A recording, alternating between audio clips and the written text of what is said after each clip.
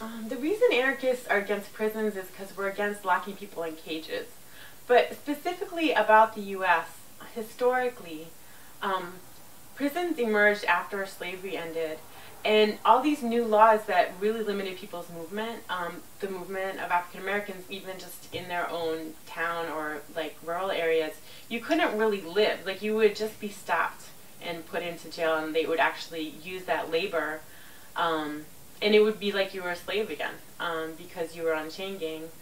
Um, and now, uh, since the 60s, um, uh, what happened is since the war on drugs, there's been uh, just a massive increase in the population of people who have been locked up.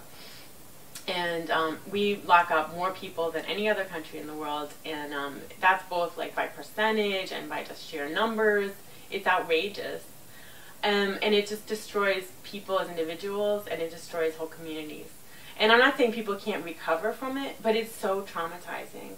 Imagine being locked in a cell and having your things taken from you, being beaten. This happens all the time. And um, people are sexually assaulted. Um, and then just random routine searches, strip searches, like every, like all the time. And um, you're not eating any kind of healthy food. It kind of destroys your health. And so people come home broken. And I'm not saying people can't heal from that. They can. And there's some amazing work being done. And that's who we need to look to is people coming home who are healing themselves in their communities. But also the communities are so damaged because they're actually taking away the people who are most likely to rebel. And i think that's why this has happened since the 60s and 70s when movements were at a really strong point because they decided to have a war on drugs. Um, you know, this is not helping people, right? Yes, we have a drug problem. Yes, addiction can be extremely harmful um, but they're not actually doing things that are going to help people.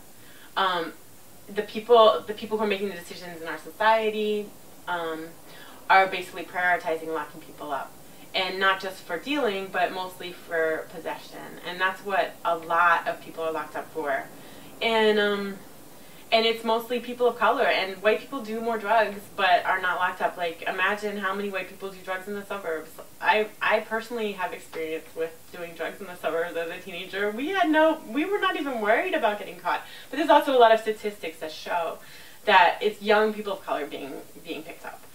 And so it's definitely a method of social control.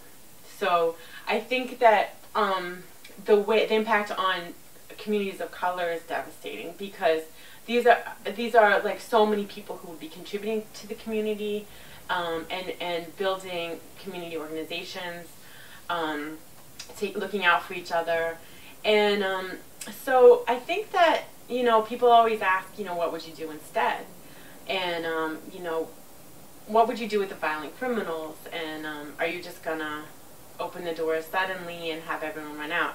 I don't think so. I think that we need to work on our vision now, and a lot of people are doing that. Um, people are doing some amazing work around transformative justice, and the idea is that our communities can transform themselves. We can transform ourselves so that we're not we're not harming each other in order to survive, and we're not harming each other because of our past trauma. Um, it, it's crazy how trauma works. It it impacts people in ways that sometimes causes them to hurt others. And so we really need to address that. Um, there's a lot of um, healing that needs to be done. And not just on the individual level or the family level, but also on a community level, like neighborhoods, like um, cities and rural areas. And I think that that transformative justice is going to show us the way. And I think it's sort of a work in progress. Um, but definitely the most most people who are in jail right now could be let go like and it would not be a problem for anyone because they're, they're locked up for using drugs. And um, so it's a challenge but you know i'm ready and i think we can do it. We can make something much better than this